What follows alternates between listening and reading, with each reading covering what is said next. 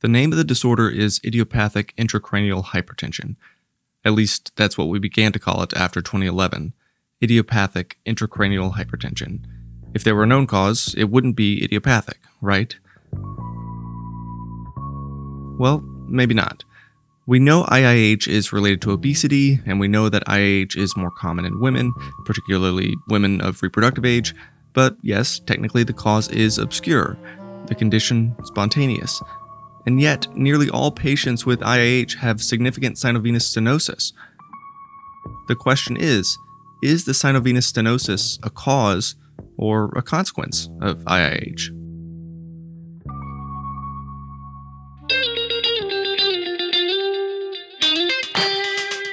Welcome back to Brainwaves, the podcast about neurology and medicine and all the fascinating science and history that come with it. This week on our program, the role of cerebral sinuses in IIH.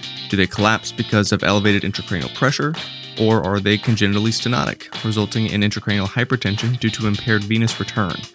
We'll address both sides of the argument when our program continues.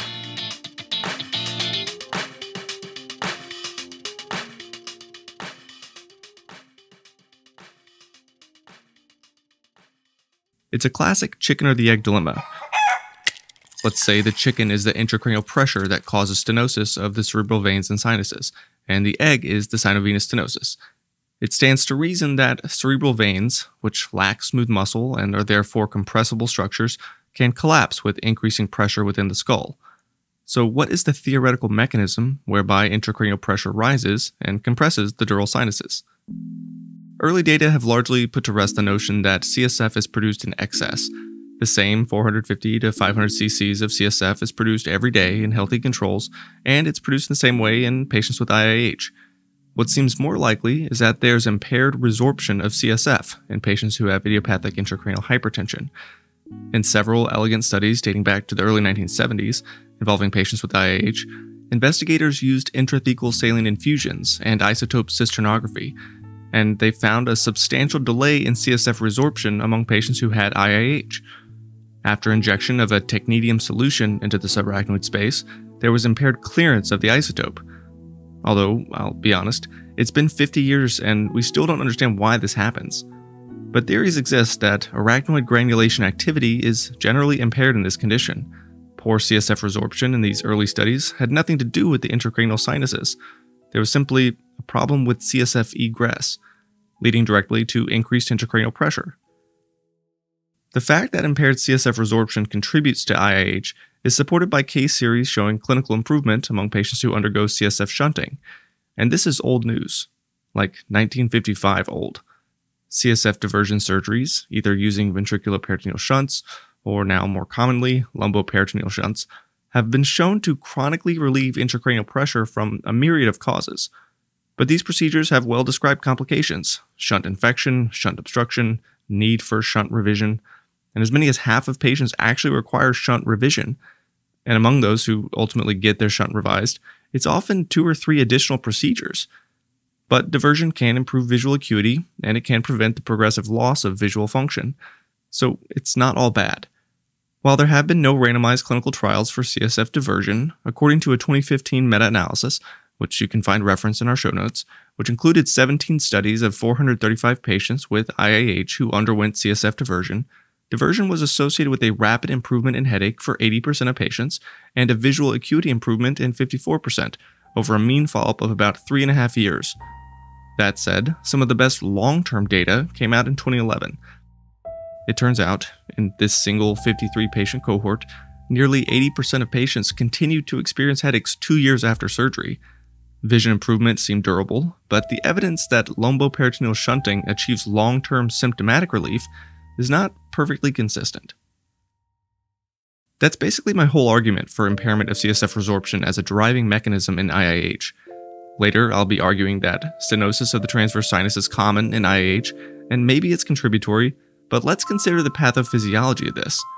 If a transverse sinus is congenitally stenotic, or even occluded, Normally, the brain will divert venous blood via the contralateral vessel. Problem solved. Now, steno-occlusive venous disease may leave a patient with some residual increase in intracranial pressure. Can't argue against that. So maybe it's the degree of sinus stenosis that contributes to the development of intracranial hypertension. Well, if that were the case, why do we see so many asymptomatic hypoplastic sigmoid sinuses, or small sigmoid notches? And why, according to at least one study of 51 patients with IIH and transverse sinus stenosis, was there no correlation between the degree of stenosis and poor clinical course, vision impairment, or CSF opening pressure? You'd presume that, if at least the transverse sinus stenosis were the major mediator of this process, then it should be driving this effect, right? Wrong. Furthermore, why is it that we've seen in several interventional studies that removal of CSF via lumbar puncture can lead to a transient correction of that sinus stenosis for many patients? Doesn't that argue in favor of the sinus stenosis being a consequence and not the cause of IIH?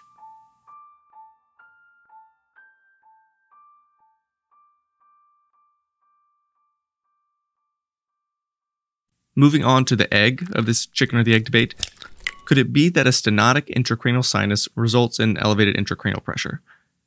We already know that cortical vein and dural sinus thrombosis can cause intracranial hypertension, which is one of the primary mechanisms that underlie headaches and nausea and vomiting with sinus thrombosis. And we know that in these patients, the ventricles will remain a normal size despite elevated opening pressure, as they do in IIH. But the question is can congenitally stenotic sinuses impede the outflow of cerebral blood? Let's start with the argument that sinovenous stenosis correlates with IIH. According to observational data, as many as 60 to closer to 100% of patients who have IIH harbor a stenosis in a major dural sinus, and usually this is the transverse sinus. In fact, according to one early MRV study by Farb and colleagues, published in 2003, the presence of a significant sinus stenosis and otherwise normal brain parenchyma was more than 90% sensitive and specific for IIH. But correlation does not indicate causation, so we need something more convincing than a set of fingerprints at a crime scene. And what is more convincing evidence than clinical trial data? Let's fast forward to June 2017. Marc Dinkin and colleagues at New York Presbyterian published the results of their prospective interventional single arm trial of transverse sinus stenting. In brief, the investigators recruited 13 patients with IIH who had severe disease and failed medical management meaning they had failed acetazolamide up to 100 milligrams BID or topiramate 100 milligrams BID for more than two weeks. And to be included, patients had to have no known precipitating cause of IIH, meaning no antecedent use of tetracycline or retinoic acid, no vascular malformation, no antiphospholipid antibody syndrome or kidney disease. The patients also had to have a measurable visual field impairment due to papilledema. They had to have elevated opening pressure on LP and they had to have a trans-stenotic gradient of 8 millimeters of mercury or more between the transverse and sigmoid sinuses during catheter angiogram. Patients also had to have more than 50% stenosis of both transverse sinuses, or they had to have a unilateral stenosis of the dominant sinus in order to be included. All patients underwent transverse sinus stenting, and they were followed for a mean of almost 18 months. Regarding the baseline patient characteristics, and this is important, all patients had headache, 85% endorsed pulsatile tinnitus, three quarters endorsed transient visual obscurations, and half had diplopia. The range of CSF opening pressure was 28 to 77 centimeters of water, so pretty significant intracranial pressure. The mean stenosis was 60%, with a range of 50 to 80%. Before stenting, the transverse sinus pressure gradient was a mean of 21 millimeters of mercury, range of 13 to 37 and post-stenting, the gradient fell to 3 millimeters of mercury with a range of 0 to 6, which was to be expected. But did the stenting produce any clinically meaningful outcomes? Obviously it did, or I wouldn't have spent so much time talking about this small 13 patient study. While there was no control arm or placebo group, all 13 patients endorsed an improvement in their quality of life after the stenting took place, there was a significant improvement in visual fields by three months, and 20 of 24 eyes with papilledema showed improvement in the Frisén grade of papilledema. There was also a mean improvement in the CSF opening pressure by 20 centimeters of water, with only one person for whom there was no change in opening pressure. The pressure for that patient actually went up one centimeter of water. And for that patient who had no change in the opening pressure, they endorsed recurrent headache at about three months, and on repeat venography, there was a new area of stenosis that was adjacent to the stent. So a second stent was deployed, and the patient reported subjective improvement in the headache symptoms, with improvement in the CSF opening pressure to 7 centimeters of water. At three months after the stent was placed, and this is probably the most interesting part of the study, eight of the 13 original patients were on no medications to lower their intracranial pressure, and three of the patients were on lower doses. So, overall, very promising results, and very few serious complications with this treatment. According to one meta analysis, including eight studies and 136 treated patients, again, none of these patients were randomized, the rate of major complications was only 3%, subdural hematomas, which, to be honest, is a comparable rate of major complications to the 8% rate that's seen in CSF diversion, although the major complications of CSF diversion also include shunt infection, tonsillar herniation, and CSF fistula formation in addition to the subdural hematomas. Minor complications were reported in 33% of patients with CSF diversion, but only 4% for transverse sinus stenting. So, stenting is thought to be a safer procedure, all this data points toward the role of stenotic dural sinuses in IIH. But in addition to knowing that stenting works in IIH, let's also throw some shade on the earlier argument that impaired CSF resorption contributes to intracranial hypertension. There are lots of other considerations out there in which impaired CSF resorption exists, and it's not the same as IIH. Consider subarachnoid hemorrhage or an infectious meningitis. Or even let's think about children who are born with agenesis of arachnoid granulations, with dysfunction or absence of arachnoid granulations in these conditions, there's often a communicating hydrocephalus with ventriculomegaly on neuroimaging. But where is this ventriculomegaly in IIH? I don't know. So it's not a perfect fit to say that impaired CSF resorption drives this condition. Stenotic transverse sinuses may be more relevant. The bottom line is, the pathogenesis in this condition remains poorly understood, and most likely, IIH is a heterogeneous condition that's caused by variable pathogenic processes, in which CSF production or resorption is dysregulated and venous drainage is impaired. There are a lot of unanswered questions about what's really happening in these patients, such as why would weight loss improve vision and clinical symptoms in patients who are obese? Weight loss and weight gain are strongly tied to IIH, and yet these factors really have nothing to do with the venous sinuses or with CSF production or resorption. Here's another question if transverse sinus stenting can improve clinical outcomes and achieve symptomatic improvement in some patients with sinovenous stenosis, who else might benefit? And what is the threshold to consider conventional angiography for a patient who has normal appearing dural sinuses? Right now, angiography is a standard of care for evaluating intracranial venous hypertension. But a newer method has been recently described, literally hot off the press as of May 2020, in which quantitative cardiac gated magnetic resonance venography was used to calculate a resistivity index. I have to credit Dr. Rizwan Hussein for sharing the study with me, who was one of the study's co investigators. Basically, by measuring the venous systolic and diastolic velocities across the dural sinuses using quantitative MRV, one can calculate the relative pulse pressure of the venous system, so to speak, which can be used as a non invasive way of measuring sinus pressure before and after stenting.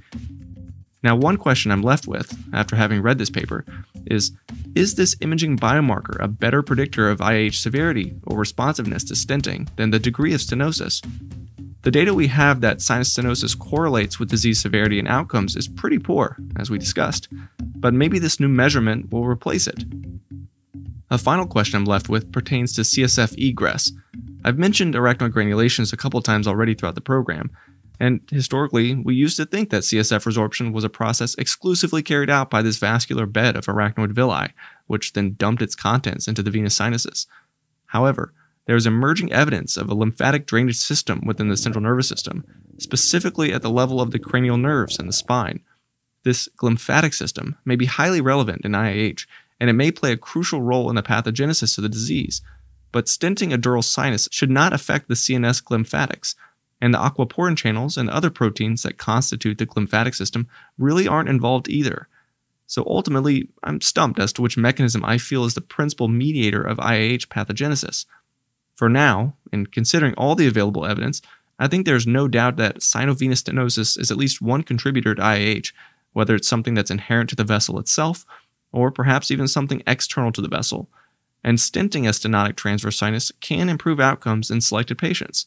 So, in my own practice, at minimum, I'll typically refer all IIH patients for non invasive venous imaging, and in patients for whom weight loss is difficult to achieve or it's ineffective, or for whom medications result in intolerable side effects or they fail to relieve symptoms before vision loss or diplopia develop, I will consider transverse sinus stenting. Based on the limited evidence, stenting seems less invasive, it's safer, and it's at least as effective as CSF diversion.